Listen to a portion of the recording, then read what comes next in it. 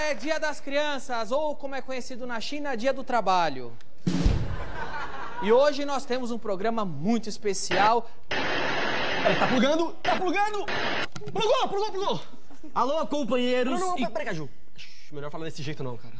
Por quê? É companheiro, o Danilo pode achar que a gente é comunista, cara. Eu já expliquei, a gente é anarquista. O Cruz nasceu com aquela ideia de anarquismo. Eu falei, o Putin, quando ele fez a primeira Tá, tá, tá, ideia tá bom, dele, bom. ele É, alô, galera, ou turminha. O meu nome verdadeiro eu não posso falar, tá? Mas pode me chamar de Caju, como vocês conhecem. Eu tô aqui pra defender os seus direitos. Porque, na boa, quem é que aguenta ver o Danilo Gentili essa hora?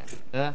Quem é que aguenta isso depois de trabalhar o dia inteiro numa sala, sem janela, depois de comer uma janta fria, brigar com a esposa, chorar na posição fetal no chuveiro, aquele chuveiro frio?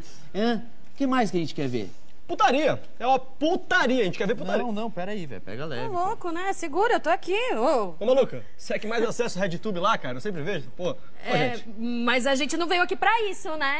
É, eu perguntei, por que, que a gente veio aqui, Caju? Você chamou a gente, tava Ah, lá, de boinha, o que foi? Cara, é melhor você parar de beber. Não, Ah, para de mamãe! beber. Ah, Porque eu já expliquei mamãe! mil vezes, pô.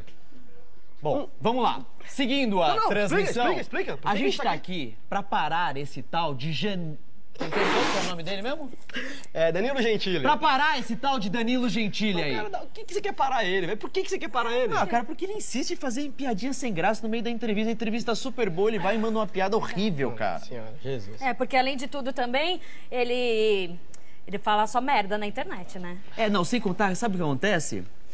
Isso é o que me deixa mais puto mesmo. Ele cobra 18 reais no chopp. 18 naquele reais? clubinho dele, o Comedians. Não é possível, tô falando 18 sério? conto. 18 conto, mano? Você tá sério, me né? tirando, né? Não, peraí, eu vou parar esse cara, velho. E além de tudo cara, isso, velho. ele precisava estudar um pouquinho mais, né? Porque nem português ele sabe direito. Não, mas 18 conto não, Peraí, não dá. peraí, peraí, peraí, peraí, peraí. Alguém tá interrompendo a transmissão. Peraí, Alguém tá não, não, peraí, peraí. Volta aqui, volta aqui.